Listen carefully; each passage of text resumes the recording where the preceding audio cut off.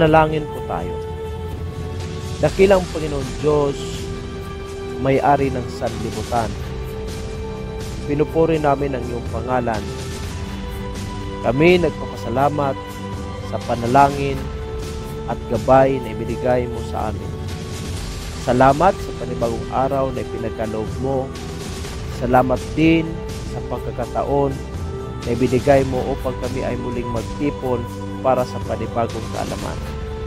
Kami po ay humihiling na nawa po ay gabayan mo po kami sa aming pag-aaral at bigyan mo po kami ng makalangit na kaalaman at lakas upang kami ay matuto. At nawa po ang lahat ng aming matutunan ay magamit namin sa pagtulong sa aming kapwa. Patawarin mo po kami sa aming mga kasalanan at nawa po ang lahat ng aming gagawin ay maging alinsunod sa iyong kautusan. Ang lahat ng ito ay aming sinasamo sa ngalan ng aming Panginoong Hesus. Amen.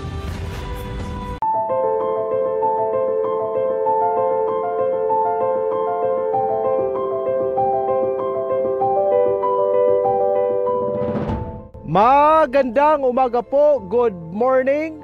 Welcome, welcome po sa pinaka-last part 3 na po ito sa discussion natin in the subject Law Enforcement Organization and Administration. Sa mga kadete dyan sa Luzon, Visayas at sa Mindanao, sa magtitake ng Criminologist Licensure Examination sa bagong curriculum, God bless po. Good luck sa inyo. I hope you will pass the Criminologist Licensure Exam. Tiwala sa Diyos at tiwala sa sarili, yan po ang pinaka-importante. May mga tips po ako na inilagay in my previous upload. Kindly check it out po and apply those tips in taking the board examination kasi importante din po yon. Pag na-follow nyo po yung mga tips na mga yon, I tell you, I tell you, you will pass the board examination. Sa mga review centers naman dyan, sa mga review centers, let us not grab credit on the successes of the takers later. Okay? Dapat po ang success in taking the criminologist licensure examination should be attributed to the school. Kasi ang mga estudyante po, nanggaling po yan sa eskwelahan. So dapat po, we should not grab credit sa mga success ng mga estudyante. Dapat lang po, ang trabaho natin is enhancement lang. So pag nakapasa po yung mga reviewees natin, we should advise them to give credit where credit is due. Magpasalamat sila sa eskwelahan, magpasalamat sila sa Panginoon, magpasalamat sila sa magulang. Pero ang role po natin as part of the review centers is enhancement lang po. Okay? So, this morning's discussion, I'll be talking about first yung mga theories. Okay? Yung theories of management. Tapos I'll also be talking about other law enforcement agencies, yung other law enforcement agencies na charge din po sa pag-maintain ng peace and order sa pag-enforce ng mga batas na relative sa kanilang respective offices. Now, may lima po tayong mga theories. Considered po ito na foundations of police organization and management. Una po itong tinatawag nating scientific management. Scientific Management by FT or Frederick Taylor. Frederick Winslow Taylor. Remember po kadet, si Taylor po, tinatawag siyang father of scientific management. Kaya tinatawag yang scientific in a sense that it does not involve wild guessing. Okay? Scientific in a sense that yung approach niya, pati na yung pag-select, pag-train, tsaka yung pag-develop ng uh, workers or employees are all in accordance with scientific principles. Kaya ang tawag sa kanya, scientific management. Now, ang pangalawang theory naman, pangalawang theory sa Foundation of Police Organization and Management is itong kay Max Weber. Kay Taylor is scientific management pero ang Weber is on bureaucratic management. Bakit siya tinatawag na bureaucratic? Bureaucratic in a sense that it gives more emphasis on structuring the organization into hierarchical structure. Ano po bang ibig sabihin ng hierarchy? So, pa ibig sabihin ng hierarchy, may boss sa taas, may employees naman at the bottom. Okay? So it could be arranging the personnel into top admin, middle uh, middle uh, managers at saka yung lower organization. Hierarchical structure po ang tawag.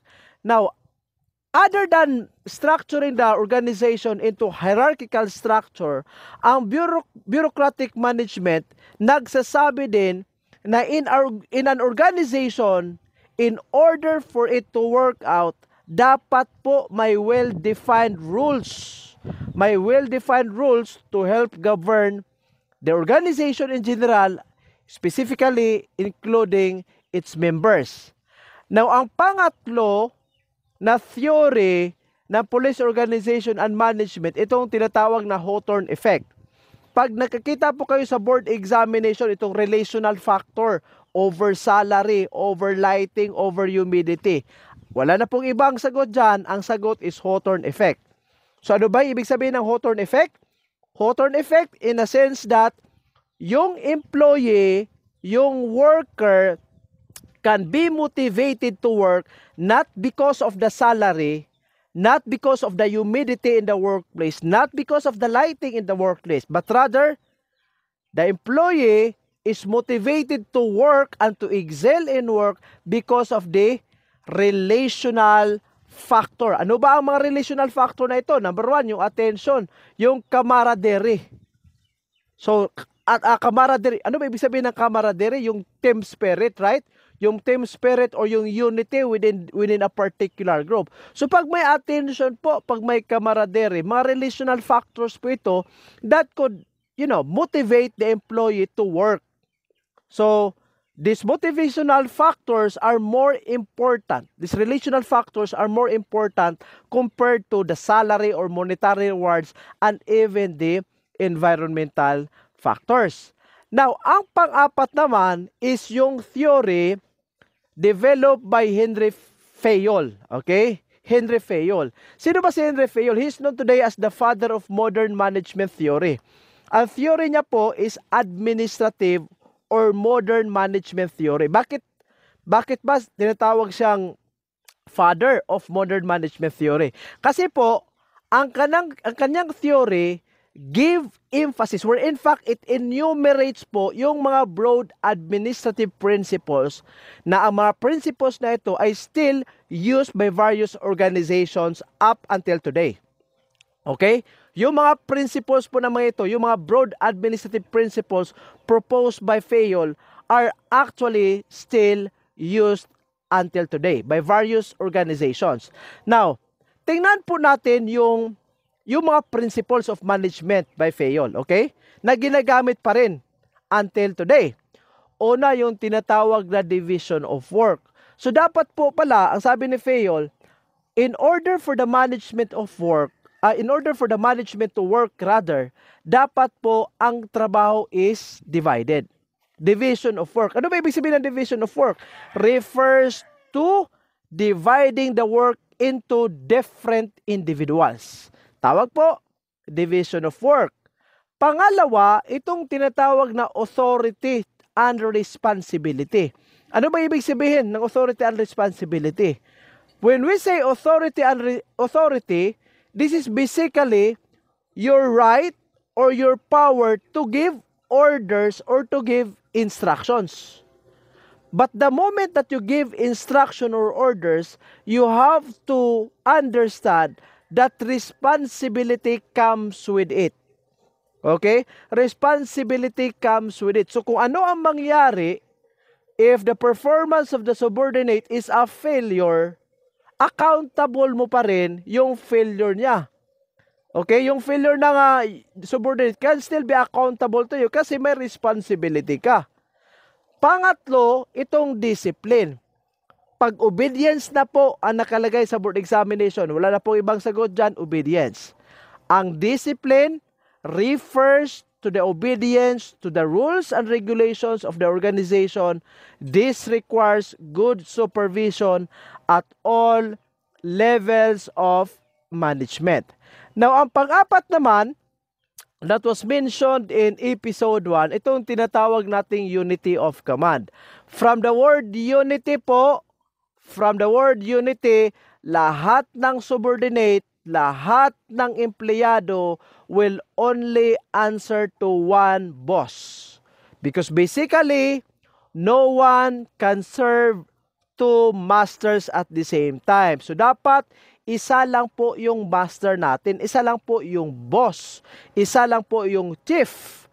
At doon po magre-report in one boss or in one one uh, one master. Yan po ang ibig sabihin ng unity of command. Ang unity of direction implies that there should be one head and one direction of activities having the same objectives. This principle ensures unity of action and avoids unnecessary duplication of work. So, ibig sabihin ng unity of direction, dapat po yung direction natin, yung papuntahan natin should be in synchrony. Dapat po pareho yung movement. Dapat there is one goal there is one objective and that goals and objectives are actually attained by everybody. Yan po ang ibig sabihin ng unity of direction. Yung pang-anim naman, itong tinatawag na subordination of individual interest to general interest. Interest of the organization as a whole must prevail over the interest of the individual. Klarong-klaro po yan ha. Yung priority po is yung interest ng organization, hindi po yung interest ng individual. Ano ba ibig sabihin dyan? Ibig sabihin na ang priority ng decision making natin should be on the benefit of the organization first before we if before it has to prioritize our personal need. It must be the interest of the organization that should be placed above the interest of the employees. Kaya nga po may mga may mga um, instances that there are employees being terminated. For example, yung agency medyo facing for bankruptcy na. So kailangan ng uh, uh, reduction of employees para ma-save yung agency. Yung pag uh, ano, yung pag-fire, pag-terminate ng some of the employees to save the agency is basically an example of prioritizing prioritizing yung interest ng organization over personal interest of the employees. Ang pangpito po na principle of management, itong tinatawag nating remuneration. Ano ba itong remuneration? Compensation po yan or salary ng mga employees. According to this principle by Fayol, dapat po yung salary, yung sweldo, dapat po yan in accordance with the government rules. Naka-follow po ba yan sa minimum salary standardization natin? Aside from yung policy ng government natin, yung financial position of the organization, ako, for example, in the academy, yung position mo is Dean of the College of Criminology, pero yung salary mo is only 16,000 or 15,000. Napaka, napakababa po. But I tell you, there are a lot of schools who are giving salary like that to, to administrators or middle managers. Napakaliit po, like 16 or 15,000. So it has to be in accordance po yan sa, sa position ng organization. Yung nature of work. Pag ang work po requires a lot of, you know, requires a lot of um, deadlines or yung work natin is more on administrative jobs or yung work natin medyo difficult to, to, to be performed, dapat po yung salary dapat is mataas. Kasi pag ano, ang, ang problema kasi diyan, pag ang isang uh, isang uh, empleyado, yung ano niya, yung uh, trabaho niya is just to photocopy documents, tapos he is receiving 30,000, tsaka yung compared to other individual who is having the a lot of effort in working. Like say for example crime registrar maybe in a university pero yung sweldo niya is only 10,000 nako problema dyan is it there could be no effective management. So dapat po ang sweldo should also be in accordance with the nature of the work. Pati na yung cost of living.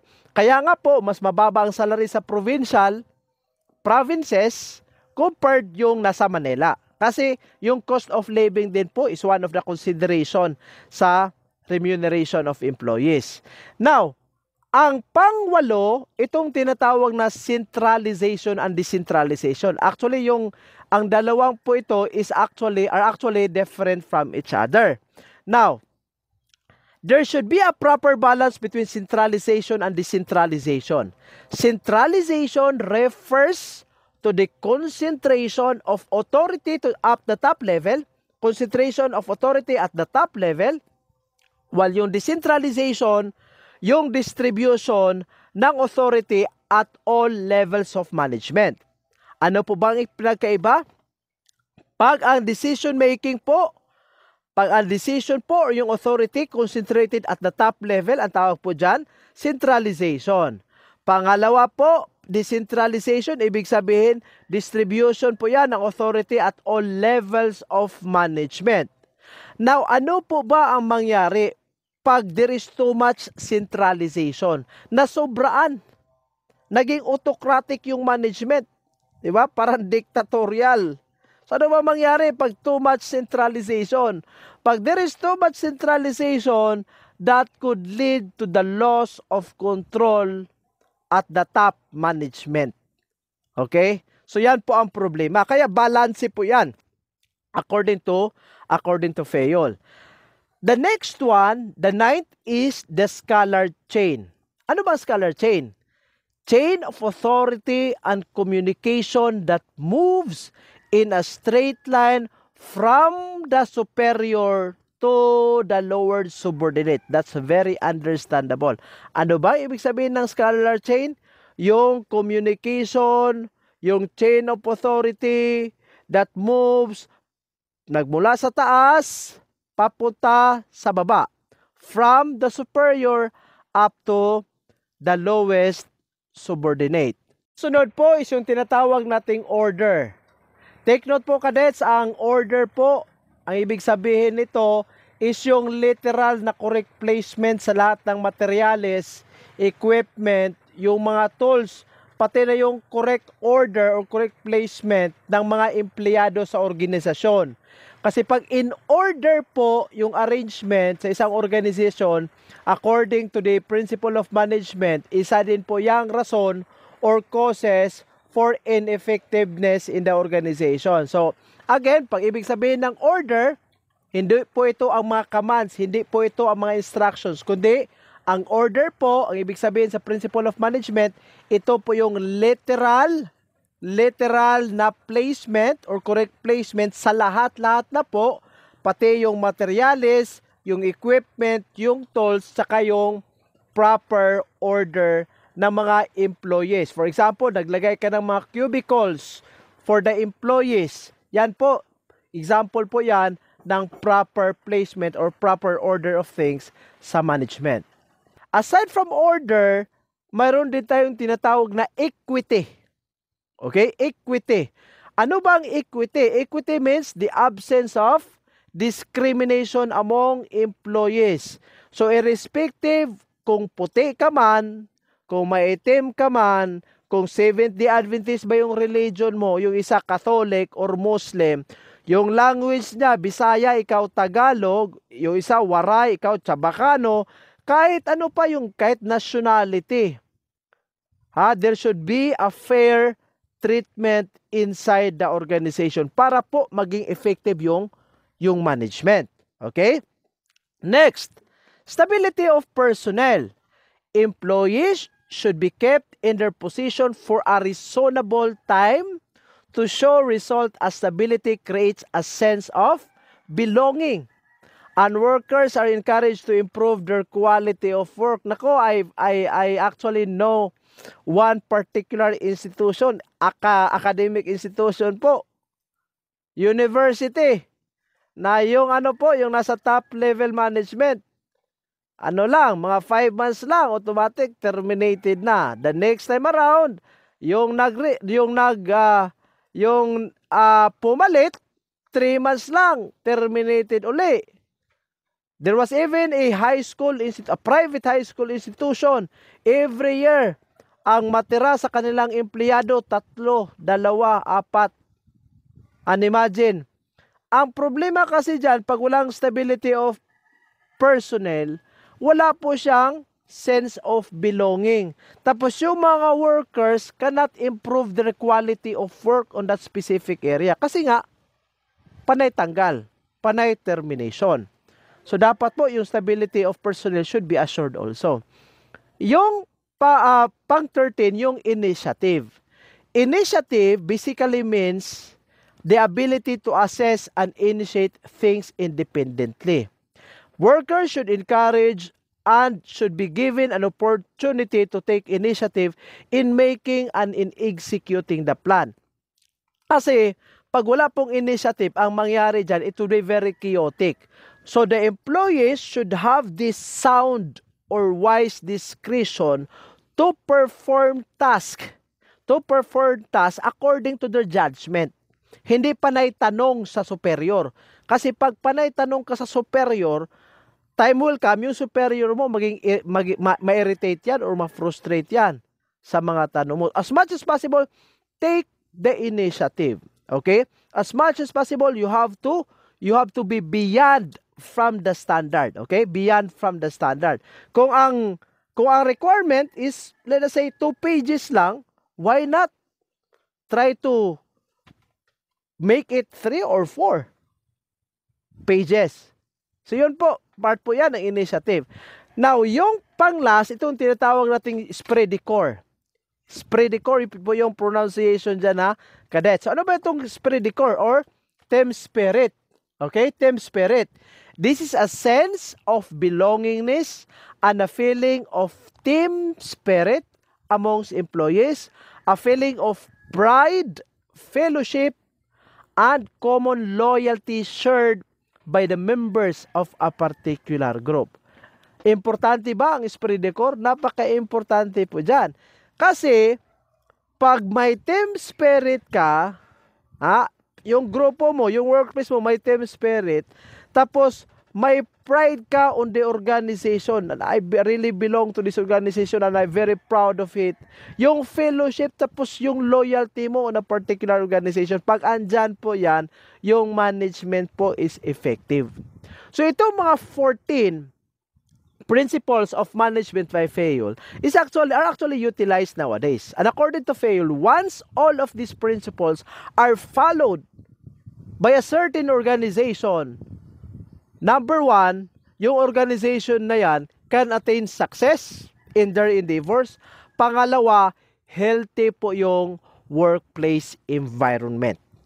Yan po, yan po ang ang ang ang importansya sa principles of management by Fayol. Now, papunta tayo sa li, panglima. Yung uh, ito na po ang pinakalast.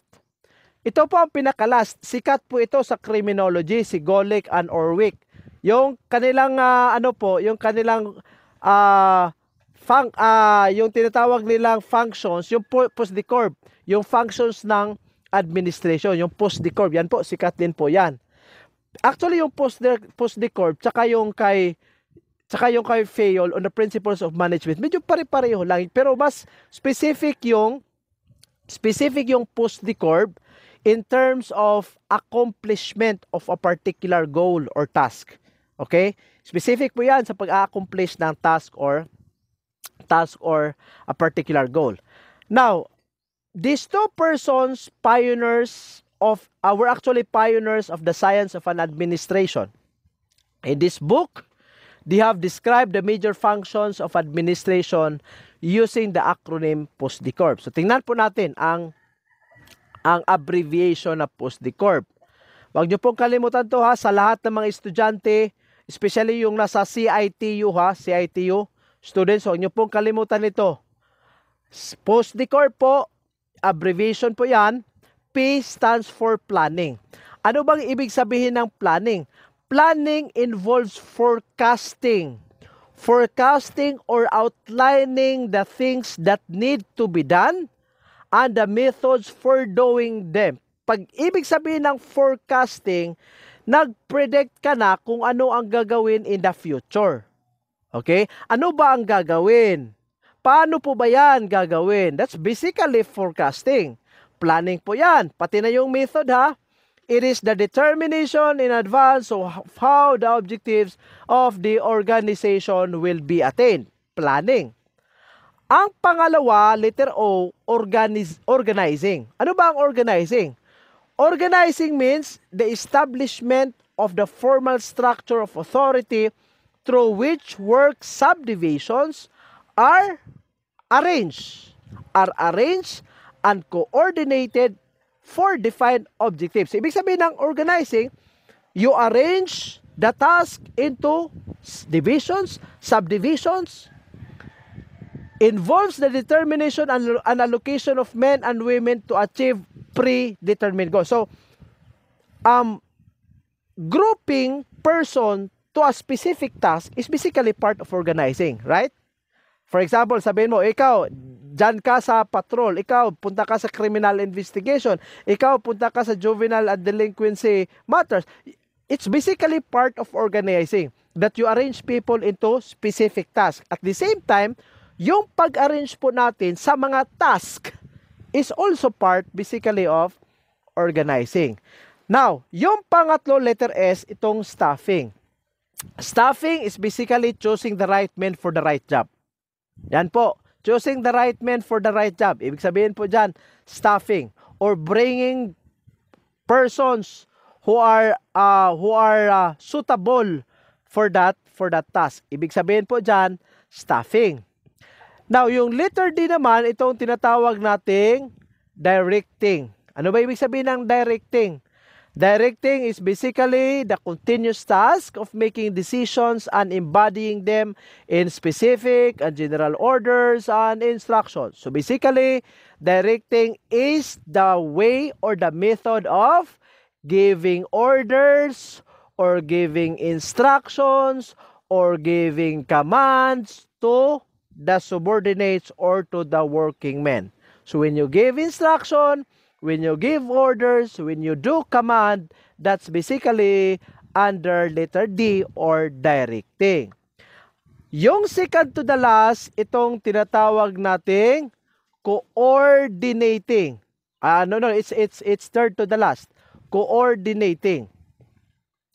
So ano ba ibig sabihin ng coordinating. Coordinating entails interrelating the various parts of the work. Kasali po dito ha, huwag kalimutan. Kasali po sa coordinating ang pag-check or pag-evaluate sa measurement, uh, uh, pati na pag-measure sa work performance. Ang pag-determine din po ng quality po, dyan din po yan, part yan ng coordinating. Okay? Pag-check, pag-evaluate, pag-measure sa performance ng isang worker kung naaayon ba yan sa regulation ng agency, coordinating din po yan. Now, ang second to the last, itong tinatawag na R, reporting. So, ano ba ibig sabihin ng reporting? Taking into account the activities and programs, yung progress, yung future needs, yung plans, decision making being made for the purpose of administrative control. So basically, it's documentation. Documenta- documentation means documenting yung nangyari, ano ba yung programa, ano ba yung activities, may progress na ba, may success ba, may failure ba, ano ba ang kailangang uh, i-consider na mga intervention plans or action plans, pati na yung decisions being made, lahat-lahat na. Documenting thereof is basically part of reporting. Ang pinaka-last, itong letter B, budgeting sa post-decorp. So budgeting, lahat ng financial matters, okay? Accounting, financial planning, lahat po lahat ng mga yan, under po yan sa budgeting. So again, to, to summarize, cadets, Post-decor planning, O, organizing, staffing, D, directing, C, O, coordinating, R, reporting, and the last one is what we call as budgeting.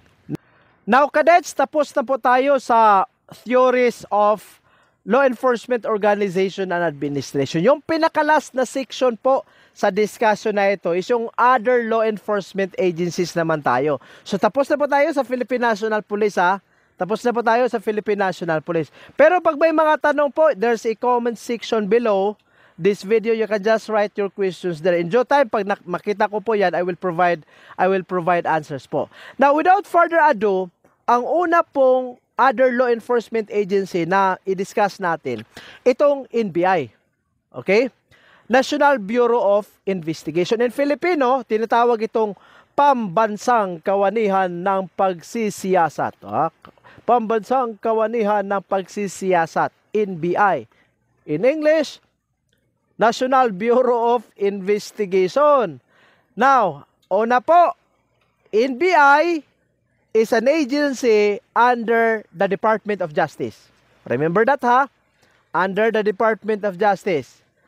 Number two, yung NBI po is responsible for handling and solving major high-profile cases that are in the interest of the nation. Ano ba ibig sabihin dyan? Pag naging controversial na po yung yung kaso, okay? Pag naging controver naging controversial 'yan, pag it attracts but it attracts the attention of the majority of the Filipinos. Ilagay po 'yan sa sa responsibility ng NBI. Pangatlo, yung NBI po natin is actually patterned by the FBI. FBI po is Federal Bureau of Investigation ng Amerika. Now, if we will take a look on the historical perspective of NBI, ito po, Commonwealth Act, Commonwealth Act uh, number 181 created a DI or Division of Investigation. Sunod, nangyari, naipasa yung Republic Act 157. Kaya yung DI, it was renamed into B, uh, NBI or National Bureau of Investigation. Ang pinakabago pong batas natin ngayon that reorganize and modernize the NBI, itong tinatawag nating Republic Act number 10867. So puntahan natin ang functions ng NBI. Okay? Isa-isahin natin. Number one, to undertake investigation of crimes and other offenses against the laws of the state. Against the law of the Philippines rather. Ang tanong ngayon, sir, di ba ang Philippine National Police, sir, trabaho din yan, yung letter A? Tama po kayo. Trabaho din po yan ng PNP. Okay, trabaho din po yan ng PNP. Pero, pwede mag-launch ng investigation yung NBI on a particular matter, pwede din po that on the same case, mag-i-investigate din po yung Philippine National Police. Pwede po yan. Number two, to render assistance in the investigation or detection of crimes. Bakit po ba? Kasi, ang NBI can actually assist in the prosecution of criminals. They can also assist in the investigation. Pag ang other law enforcement agencies can will be requesting for their assistance, they can actually provide. Okay, they can actually provide. For example, ang NBI po po is kumpleto po yan ng, ng mga equipment. For example, polygraphy maybe. So ang NBI is very high-tech in terms of polygraphy. So maybe the PNP can also ask assistance to the NBI in relation to the request for polygraph examination. Okay? Pangatlo, National Clearinghouse of Criminal and Other Information, Identification Records of all persons without criminal convictions. Kaya po, kailanganin pag nag-a-apply po tayo ng trabaho, one of the requirements is NBI clearance. Kasi yung NBI clearance po, National Clearinghouse po dyan, po yan. Siya po ang mag-certify na ikaw na tao, ikaw na Pinoy, wala kang pending case, na ikaw wala kang wala kang kaso, that you are not under investigation, that you are not convicted of a crime, ang NBI po ang magsasabi. Sir, bakit kami kumukuha ng police clearance? Ang police clearance po is just a certification that would assert na wala ka pong pending case in your locality lang po ang scope niya. Okay? Locality ha, pero yung NBI national. National po yan. Next. Technical aid to all prosecuting and law enforcement officers and entities of the government as well as of the court. So again, assistance po kailang uh, is can also be given or can also be extended uh, uh, to other law enforcement agencies. Other functions include to extend its services whenever properly requested in the investigation of cases of administrative or civil in nature. Ano ba ibig sabihin na administrative? Administrative, pag ang tao who is found guilty will be terminated from his position. Civil, pagbayaran po. pag guilty ka, dapat ka magbayad. To undertake the instruction and training of a representative number of city and municipal peace officers at the request of the respective superiors to establish and maintain an up-to-date scientific crime laboratory and to conduct researches in furtherance of scientific knowledge in criminal investigation, to perform such other related functions as the Secretary of Justice may assign from time to time. So yun po ang mga ang mga functions ng National Bureau of Investigation. So again, to sum it up, yung NBI po under sa Department of Justice po, yan po ang investigative arm ng DOJ tapos, uh, yung functions niya, to sum it up, Silyan po, to sum it up, yung functions niya po is on crimes that are considered to be controversial or sensational. Okay? Pati na yung uh, pati na yung pag-act as a national clearinghouse, pati na yung pag-aid or rendering assistance relative to investigation of cases. Now, the second other law enforcement agency, itong tinatawag nating PDEA. PDEA stands for Philippine Drug Enforcement Agency. Ang office po na ito, ang agency po na ito is considered as an implementing arm of the DDB. Ano ba ibig sabihin ng DDB? Dangerous Drugs Board. Okay? Implementing arm po siya ng DDB or the Dangerous Drugs Board. Tanong, ano po ba ang uh, batas na naging subject for implementation in this agency? Ang batas po na ini-implement is yung Republic Act 9165 where in fact po, huwag kalimutan, ang Republic Act 9165 po, yan po ang batas na nag-create ng PDEA. Kuha nyo po. Ang 9165 po is the law that created the PDEA. Okay? Ano ba ibig sabihin ng 9165? Yan po ang tinatawag nating Comprehensive Dangerous Drugs Act. Okay? The Comprehensive Dangerous Drug Act of 2002. Lahat ng provisions ng Republic Act 9165, walang iba po yung implementing agency na may responsibilidad dyan, yung PDEA po. Ha? For example, yung uh, possession of illegal drugs. PDEA ang ang ano dyan, ang may responsibilidad dyan. Kaya nga po, kailangan, kailangan ang coordination between PDEA and PNP kasi ang PNP din po is actually into uh, the pursuit of uh, against drugs. May drug war, di ba? Yung, yung PNP. So dapat po coordination kasi yung pag mangyari, pag wala coordination, ayun, nagpapatayan yung PDEA at saka yung PNP. Kasi walang coordination. Kaya ayun, nagpapatayan yung dalawa. Now, sa organization naman ng PDEA, it is headed by the Director General and assisted by the two Deputies Director General, yung isa sa admin, yung isa sa operations. Yung second in command po, yung sa admin, yung Deputy Director General naman sa operations is second in command. Lahat po ng mga posisyon ng mga yan is appointed by the President. Now, nakalagay po sa 9165 na ang PDEA will absorb the NARCOM of the PNP or yung Narcotic Commission. Pati na yung Narcotic Division ng NBI and the Custom Narcotic Interdiction Unit. Pero hindi ibig sabihin dyan ha, na ang PNP will no longer have its quest against drugs. Now, another law enforcement agency, itong BI, Bureau of Immigration, baka magtaka kayo kadet sa why am I uh, including this in the discussion, wala po tayong magawa. Yung PRC kasi is actually putting uh, Bureau of Immigration as one of the topics that should be discussed. Sa table of specific, specification po nakalagay ito. Pati sa CHEDA uh, course recommended course contents nakalagay din po ang Bureau of Invest uh, Bureau of Immigration kaya po we have to discuss this also. So Bureau of Immigration or the BI Tinatawag ito sa Tagalog, kawanihan ng pandarayuhan. Ha? Kawanihan ng pandarayuhan in Tagalog. Pero in English, Bureau of Immigration. Bureau of Immigration, kawanihan ng pandarayuhan. Sometimes po, mas mas ano pa, mas difficult yung Tagalog kaysa English. Um, in 1972 and 1987, tinatawag itong Bureau of Immigration and Deportation. Pero ngayon, BI na lang po.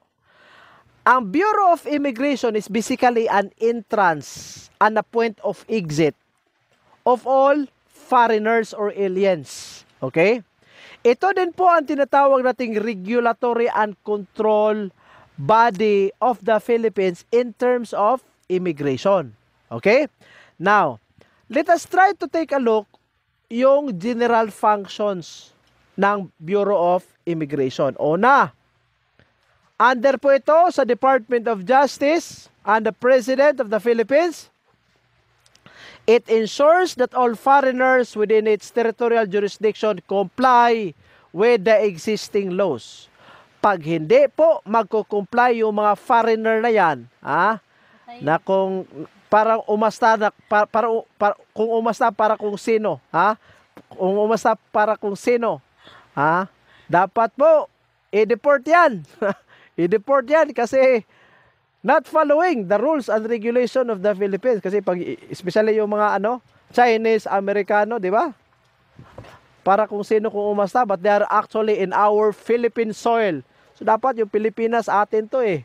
So dapat pag umasta sila, they have to follow the rules and regulations sa Pilipinas kasi andito sila sa atin.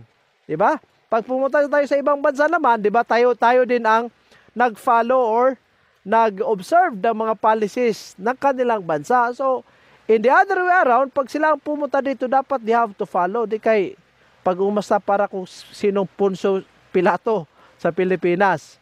Number two, assist local and international law enforcement agencies in securing the tranquility of the state against foreigners whose presence or stay may be deemed threats to national security, public safety, public morals, and public health. So, pag may pumupunta po sa atin o nakapag-access sa Pilipinas and these personalities are known to be a threat for public safety po in general, ang BI din po will actually link with international communities or international law enforcement agencies para itong mga taong ito can be arrested and will be deported. Okay? Number three, acts as chief repository of all immigration records. Lahat ha, lahat ng immigration records na, nasa, nasa opisina ng BI. Pertaining to, number one, entry, temporary sojourn, admission, residence, even departure of all foreigners in the country. Now, punta naman tayo sa specific functions. Specific functions ng Bureau of Investigation. Again, ang sabi ko kanina, pag-regulate ng entry, pag-stay, pati na yung pag-exit ng foreign national sa Pilipinas. From our country, they will be exiting. So lahat ng mga yan, regulations are under the BI. Pag-monitor ng entry at saka ng exit sa mga OFWs natin or Filipino citizens in compliance with Philippine laws or other legal procedures. Issuance of immigration documents and identification certification of non-immigrant, immigrant, and special non-immigrant visas. Kasali din po yan sa responsibility ng uh, ah, BI or Bureau of Immigration. Now, pag kailanganin po ng special permits, for example, yung special work permit, provisional permit to work, special uh, study permit ng mga foreigners. Pag nandito po sila sa Pilipinas, dito sila mag-aaral. Kailanganin po yung SSP. Re-entry permits, clearances, etc. etc. are actually under the functions, specific functions of the BI.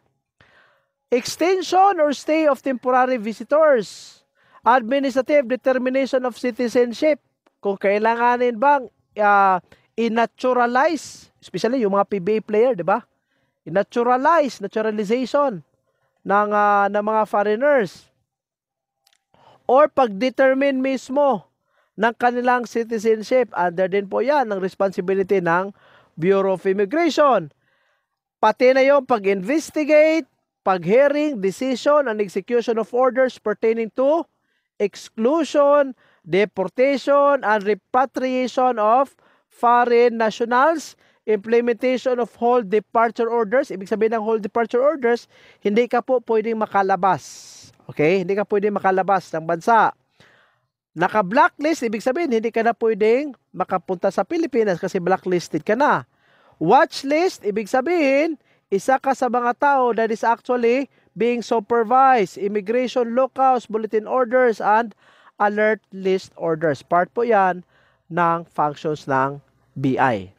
In addition din po, yung Bureau of Immigration, pwede po silang magkansela ng mga immigration documents, pati na po yung pag-arrest, pag-detain, pag-investigate ng mga foreigners who violated the immigration regulations and other Philippine laws. So saan po ba inilagay ang mga foreigners na nag-violate? Ilagay po sila sa mga holding facilities ng uh, Bureau of Immigration or they can also be placed in the Bureau of Immigration Bicotan Detention Center. Now, on the other way around, ang lahat ng accreditation, pati na sa eskwelahan na nag-a-accept or nag enroll ng mga foreign students, pati na pag-accredit sa mga law firms, liaison officers, and various agencies, trabaho din po yan ng Bureau of uh, Immigration. Now, punta tayo sa other law enforcement agency. Itong Philippine Coast Guard or in Filipino, the Tanod Baybayin ng Pilipinas tanod baybayin ng Pilipinas. Now I know what's the Tagalog term of Philippine Coast Guard. So Philippine Coast Guard or PCG is a civilian armed uniform service attached po ito sa Philippine Department of Transportation. Okay? Remember ha, kasi some of the cadets are are saying na under ito sa Armed Forces of the Philippines. Hindi po.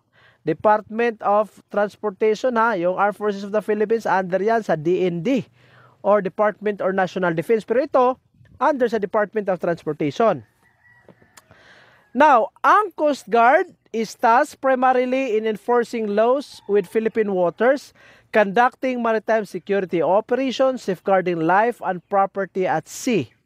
Note, in case of declaration of war, ang Coast Guard shall serve as, the, as an attached service of the AFP in times of war lang po or in the declaration of war. For example, ang Pilipinas will declare war against China. O yan po, automatic yan.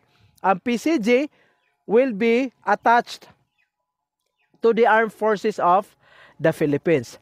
Now, cadets, huwag kalimutan, ang PCG is considered as the oldest, oldest and only humanitarian armed service in the Philippines. Now, tingnan natin yung organizational structure ng Coast Guard.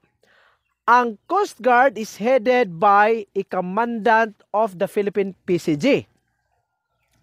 Ang commandant will directly report sa Secretary of Transportation. Okay? Sa Secretary of Transportation. Ang reporting po na ito will include yung maritime law enforcement. Pero during wartime, upon the declaration, pag war po, ang commandant of the PCJ will report to the chief of the Navy pag during wartime. Pero pag wala pong war, automatic doon lang po sa Secretary of Transportation. Now, same with the setup in the PNP, in the PDEA, ang Coast Guard din po is assisted by the Deputy for Administration tsaka yung Deputy Commandant for Operations. Yung second in command is yung sa administration, yung third in command naman is yung sa is yung sa operations. Now, ang Philippine Coast Guard may mga units din po ito. Unahin po natin yung functional command muna, functional command units. Una yung tinatawag nating Maritime Security Command or MARCICOM, Marine Environmental Protection Command or the MIPCOM, and the Maritime Safety Services Command or the MSSC. Sa specific Coast Guard unit, ito ang una is the Coast Guard Aviation Force. So pag aviation po yan, lahat ng helicopter, yan ang aeroplano under po sa opisina na ito. The known as known as Coast Guard Air Group. This was uh, formally activated on 1998 during the incumbency of Commodore Manuel De Leon as commandant. It aid in the intense need to have the capability to extract survivors from from water. So, pag may shipwreck po, um, extracting survivors can actually be easily made using the or utilizing this group, the Coast Guard Aviation Group. Now, number two is yung Coast Guard Special Operations Force. So, ang Coast Guard Special Operations Force, ito yung, po yung special unit, special force unit po ng PCG. Lahat ng uh, underwater operations, domestic counterterrorism, and other similar law enforcement operations part po sa responsibility ng, uh, ng unit na ito. Mayroon din po tayong tinatawag na Philippine Coast Guard Auxiliary. Ang Philippine Coast Guard Auxiliary, ito po yung civilian support group. Okay? Civilian Support Group of the PCG. Ang mga tao po o ang mga miyembro sa Philippine Coast Guard Auxiliary, lahat po mga volunteers po yan, mga civilians po yan. Okay, mga civilians. So, these people performs non-military and non-police activities para lang po, ang function nila is to support uh, uh, to support uh, the, the, the Coast Guard, basically, to support the functions of the Philippine Coast Guard. Now, number four is the Philippine Coast Guard Officers Basic Education and Training Center. Now, pag may eskwelahan po para sa pulis, may eskwelahan din po para sa PDEA, may eskwelahan din sa PCG. Okay?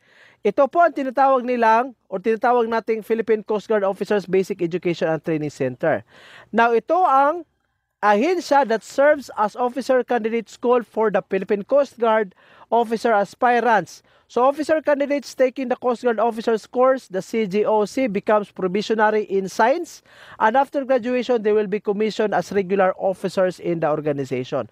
So I think um, it was five years ago, if I'm not mistaken, na there was a mass hiring po sa Coast Guard. Actually, a lot of criminologists licensed criminologist po naging naging commission officer sa PCG. Dito po sila sa eskwelahang ito nagti-training. Okay? Ang Philippine Coast Guard Officers Basic Education and Training Center. Now, aside from that is uh, aside from the Coast Guard, mayroon din po tayong tinatawag na Office of Transportation Security. This is another law enforcement agency cadet. Another law enforcement agency, ang Office of Transportation Security. Lahat ng policies or regulations regarding transportation, including na yan ha, including na po yung civil aviation, sea transport and maritime infrastructure, land transportation, rail system, and infrastructure. Lahat po, as long as it uh, pertains to transportation, ang responsibility po or yung function na yan is under the Office of Transportation Security. Okay? So, airport, seaport, lahat po, uh, part po yan sa uh, supervision ng Office of Transportation Security. So, ang ang uh, office po na ito was created um, by the virtue of Executive Order number 277 in January 30, 2004. This is basically under the Department of Transportation and Communication or DOTC, just like the Coast Guard. So again, ang mandate po niya is yung lahat ng policies, regulations, programs, pati na yung security as long as it is uh, it is uh, relative to transportation uh, ano po ano po yan kasali po sa responsibility ng Office of Transportation Security.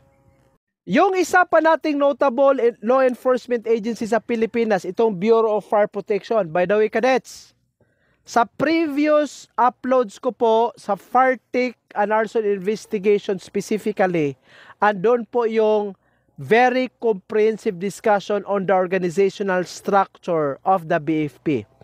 I will not I will not include all of those uh, uh, topics relative to the organizational structure but I rather synthesize lang po kung ano po yung functions ng Bureau of Fire Protection.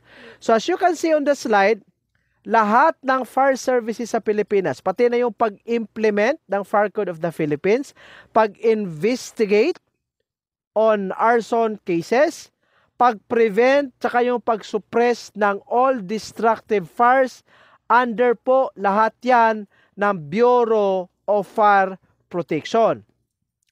Ang pang-last na agency that I will bring to you for discussion is itong DENR. Ito din po cadets.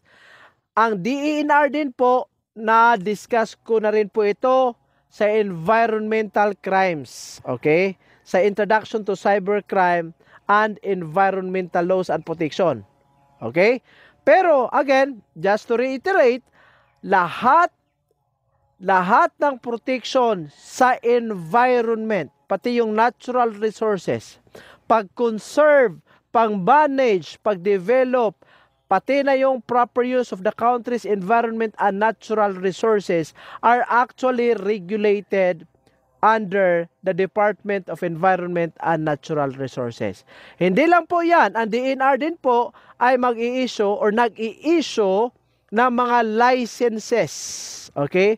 Licenses for the for the usage of our natural resources. So kadets, yun po ang mga other law enforcement agencies po na part po sa subject na uh, law enforcement organization and administration. Now, I am praying po sa lahat ng magti-take ng criminologist board uh, criminologist uh, licensure board examination. I am praying po na you can hurdle the board examination but then again, kung ano pong mangyari kung ano po mangyari pag nakapasa tayo, let us give credit where credit is due. Pag hindi po pinala, pag ang Panginoon po hindi binigay yung blessing sa atin, okay lang po yan. May second chance pa po. Remember that we are criminology cadets and our attitude is to get back up when we fail, we shake off the dust, we move on and we move forward. Maraming maraming salamat po sa lahat. God bless you po.